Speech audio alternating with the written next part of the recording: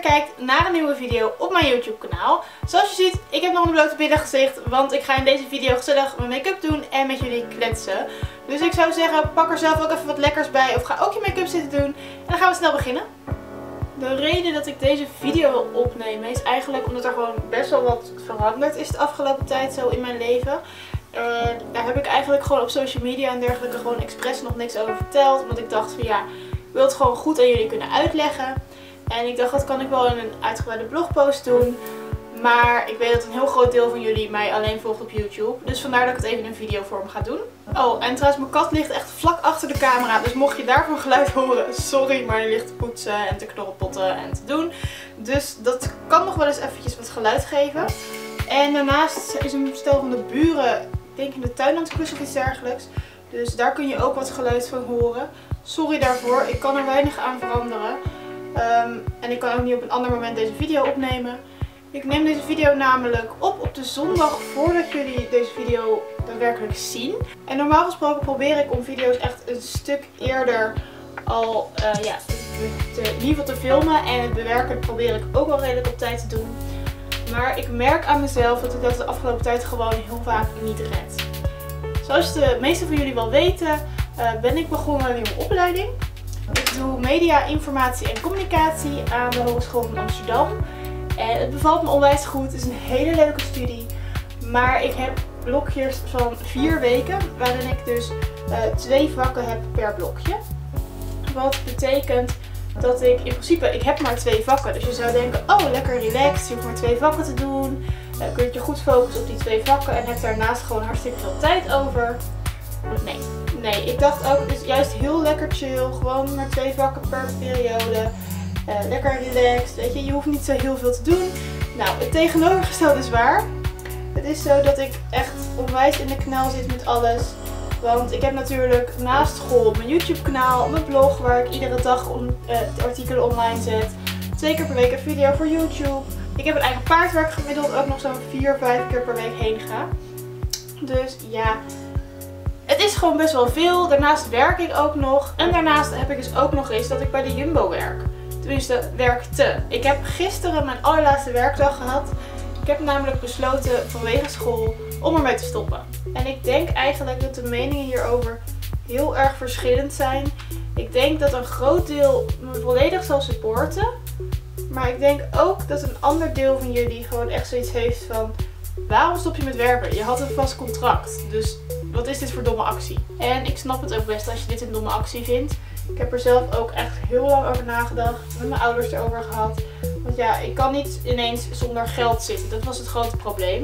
Ik heb natuurlijk mijn paard dat ik moet betalen. Dus ik kan moeilijk ineens geen inkomsten meer hebben.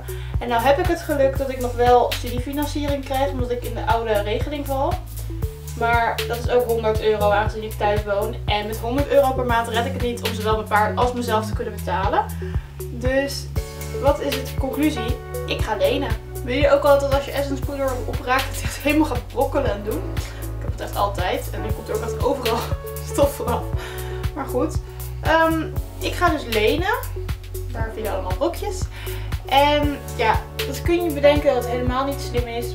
Ik ben zelf ook altijd tegen lenen geweest eigenlijk.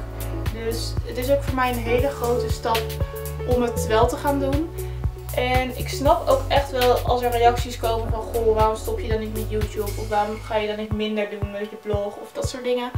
En geloof me, ik heb er heus wel aan gedacht. Maar ik heb toch hiervoor gekozen. Dat heb ik trouwens helemaal nog niet gezegd. Maar ik zal alle gebruikte producten in de beschrijving zetten. Dan kan je ze makkelijk terugvinden.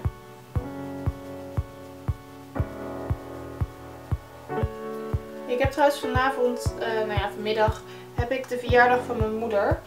En voordat die begint moet ik dus deze video in ieder geval opgenomen hebben.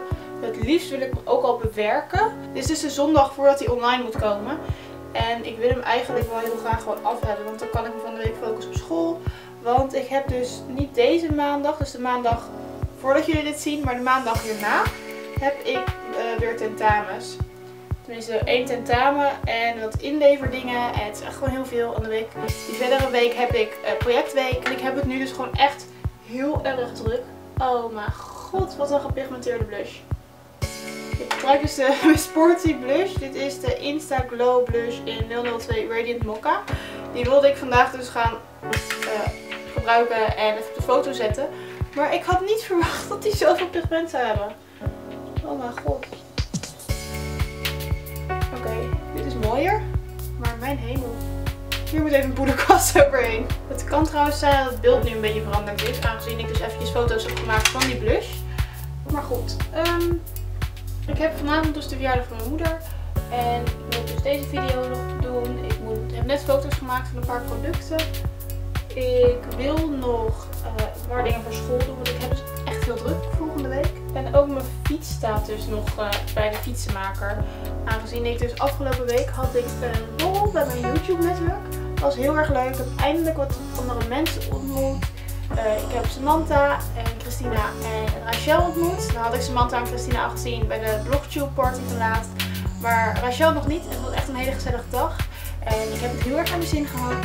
En ja, het was gewoon heel erg leuk om hem een keer te zien. Gewoon in plaats van ze alleen maar zo op het scherm zie. Zoals jullie mij nu ook zien. Ik vind het gewoon heel erg leuk om meiden met dezelfde passie eigenlijk te ontmoeten. Want YouTubers zijn toch net andere soort mensen of iets dergelijks. Zo voelt het tenminste altijd. Maar goed, ik heb het dus gewoon echt heel erg druk. En dat betekent dat ik mijn werk dus heb afgezegd. En ik snap het als jullie dat raar vinden. Dat zei ik net ook al.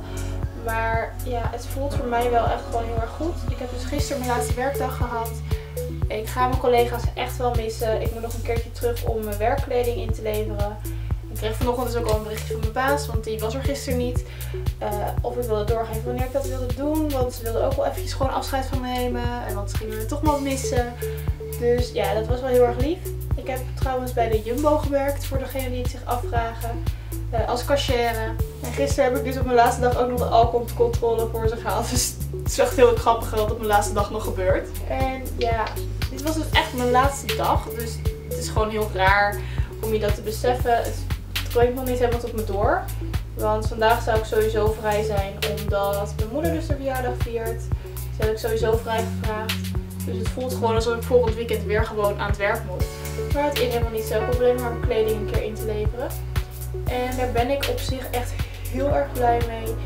Want hoewel ik echt best wel leuke collega's heb gehad en dergelijke. En het werk op zich niet heel erg was. Merk ik toch wel dat ik het afgelopen jaar het steeds minder leuk vond om te vinden. En nu ik het ook nog met school zit, ik red het gewoon niet. Ik ben echt gewoon, ik begon lichtelijk overspannen te raken en oververmoeid. En ik heb het continu koud, ik heb telkens hoofdpijn. En ik denk echt wel dat ik natuurlijk gewoon te veel doe. Dus ik hoop echt dat als dit blokje van vier weken afgelopen is en mijn projectweek heb gehad, dat ik dan gewoon weer wat beter in mijn vel kom te zitten. Want dan heb ik gewoon het meeste stress even gehad. Dan kan ik als het goed is gewoon gelijk bijblijven met de stof. Dat is tenminste mijn planning. Dan wil ik gewoon echt iedere les goed voorbereid komen. Uh, samenvatten gelijk doen. Uh, opdrachten maken gelijk doen. Je, dat soort dingen wil ik gewoon gelijk gaan bijhouden. Want ik merk gewoon, ik liep gewoon zo erg achter. En daardoor liep ik alleen maar te stressen en te doen. En dat doe ik nu nog steeds. En in mijn hoofd is het gewoon zo'n grote chaos dat als ik dan toch kan slapen s'nachts, ik gewoon heel slecht slaap. En continu wakker lig. Zo van, oh ik moet dat nog doen, ik moet dat nog doen. En ik ben continu bezig met een planning te proberen te maken en er niet uit te komen dat ik gewoon te veel moet doen in te korte tijd. Dus ja, ik merk ook gewoon mezelf. Ik zat op een gegeven moment vrijwel dagelijks gewoon echt in een soort tipje dat ik gewoon eigenlijk het liefste in een hoekje wilde kruipen en wilde gaan zitten huilen. En dat is gewoon niet goed om aan jezelf te merken. En toen ik ook nog eens mijn tentamen terugkreeg, mijn eerste tentamen, en ik die onvoldoende bleek te hebben. Ik heb daar namelijk een 4.7 uit mijn hoofd voor gehaald. En ja, daar had ik heel veel tijd in gestoken. En dan heb je me gewoon ruim niet gehaald. Dus ja, ik baalde daar gewoon zo erg van. Ik zat toen in de trein echt compleet alleen maar te balen ervan. Dus ja, op dat moment ging ik ook nadenken van dit moet veranderen. Want ik voel me niet fijn. School gaat niet goed. Dat vind ik toch belangrijker dan werk in principe. Dus toen ben ik echt gaan nadenken. En toen heb ik dus besloten dat ik wil gaan lenen. Ik ga even mijn eyeliner zetten en daarbij kan ik echt niet praten. Dus dat spoel ik even voor door.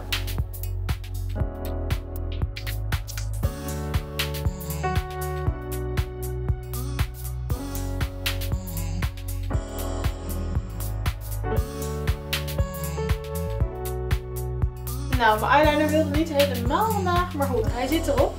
even verder met mascara. Dan zijn we eigenlijk al bijna klaar. En ja, eigenlijk komt het er dus op neer dat ik de afgelopen tijd gewoon helemaal niet zo lekker in mijn vel heb gezeten. Als je op social media volgt en dan voornamelijk Twitter, dan heb je dat wel doorgehad. En ik hoop dus heel erg dat het gaat veranderen hierdoor. En ja, misschien dat je het ook wel hebt gemerkt aan video's van me dat ik gewoon net wat minder vrolijk was of iets dergelijks. Ook wat simpeler video's geplaatst eigenlijk om te maken dan anders. Ik bedoel, ik had echt op de planning staan om in vakantie een lookbook te filmen en een DIY video. Maar ik had er gewoon niet de tijd voor en daardoor ook niet de motivatie. En dat is heel vervelend, want ik vind het zelf ook niet leuk om alleen maar naar dit soort shitvideo's te kijken. Dus ik hoop echt dat als ik gewoon een beetje mijn rust terug heb gevonden en wat meer tijd en gewoon weer wat beter in mijn vel zit, dat ik dan weer gewoon echt wat leukere video's voor jullie kan gaan maken. En ik wil jullie trouwens echt nog een keer bedanken voor de 1000 abonnees. Zeker net in deze periode vind ik het echt heel erg lief dat jullie gewoon met z'n allen al duizend keer op mij geabonneerd zijn. En ik wil jullie ook heel erg bedanken voor alle lieve reacties die jullie achterlaten. En alle likes en alle steun die jullie me gewoon geven. Ik vind het echt onwijs fijn om te merken. En verder met een lipstift. Nou ja, een liquid lipstick. En deze is van Colourpop. Het is trouwens de kleur Bumble. En ik vind hem echt prachtig, maar ik moet er niet bij praten. Dus ik ga het maar even doorspoelen.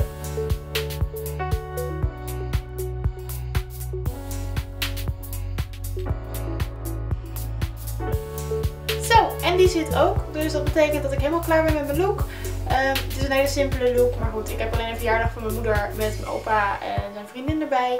Dus ja, dan is het ook niet heel erg belangrijk om een hele glam look te maken of iets dergelijks.